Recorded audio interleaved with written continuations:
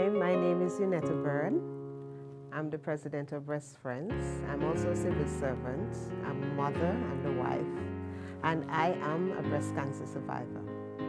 I was given the diagnosis of breast cancer in June of 1998.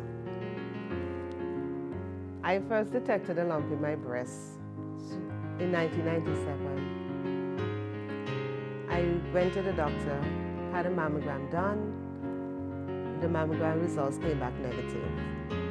However, a year later, I discovered a lump under my armpit. Went back to the doctor. He proceeded to do a biopsy and the results proved that I had cancer of the breast that had spread to the lymph nodes under the armpit. I would say to persons who, who would have a diagnosis of breast cancer that it is not, all is not lost. It is not a death sentence. There is hope.